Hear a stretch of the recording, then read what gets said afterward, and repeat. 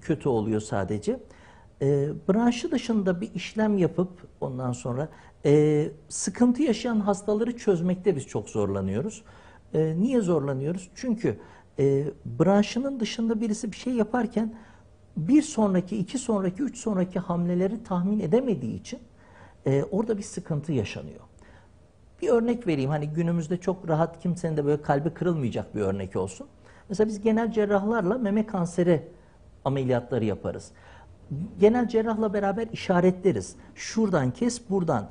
E, Niye? Çünkü oradan damar geçiyor. Eğer öbür taraftan keserse biz o memeyi bu sefer kapatamayız.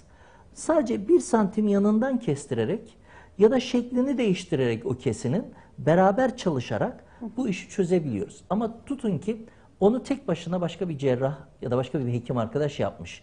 Benim daha sonra atacağım adımı da bölmüşse bu sefer hastanın işi zorlaşıyor, benim işim zorlaşıyor. Sonuç daha kötü oluyor. 100 puanlık iş yapacağınıza 80 puanla yetinmek zorunda kalıyorsunuz.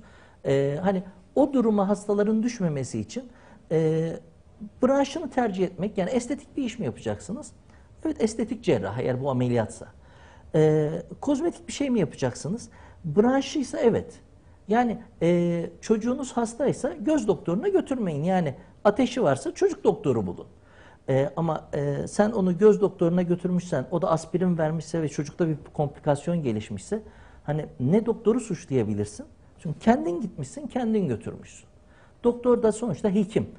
Ateşli bir çocuk gördüğünde bana ne kardeşim dememişse, orada ben hekim arkadaşımı da suçlamıyorum. Onun için hastalar hekimlerini kendileri araştırıp kendileri seçmeli. Ama bugün o kadar zor bir dönemden geçiyoruz ki hastalar hekimleri nasıl seçiyorlar? Instagram'a bakarak. Mesela benim Instagram'da hiçbir şey bulamazsınız. 25 yıllık hekimim.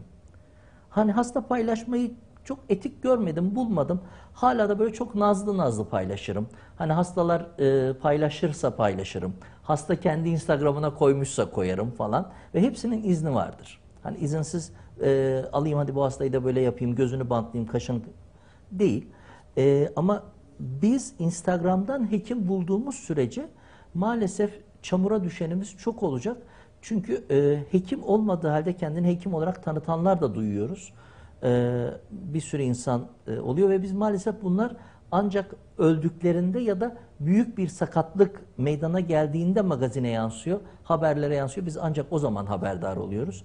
Ama bize gelen onun belki yüz katı. Yani sizin o televizyonlardan, gazetelerden gördüğünüzün yüz katı bize başvuru yapıyor. En basitinden epilasyon. Epilasyon yanığından gelen o kadar çok insan var ve mahrem bir şey olduğu için de hani ifşa edemiyorlar. İçlerinde saklamak zorunda kalıyorlar. Onun için hani bir epilasyon, bir lazer, bir bilmem ne, bir botoks dememek lazım.